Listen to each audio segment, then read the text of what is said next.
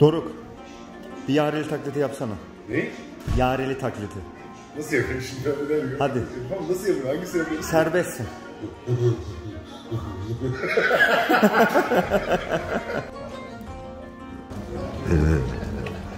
Tamam deyiz. Sen ne yapıyorsun orada ula? Bizim elimizden kimseyi alamazsınız ola. Ula iç bu şurubu. Seni iyileştirmeden kaldırmayacağım. Ula nereden gelirsin ayı yavrusu? Ula senin kelleni koparırım ha. Biz Selçuklu beyliklerine benzemeyük. Anladınız mı ula? Eceliniz benim.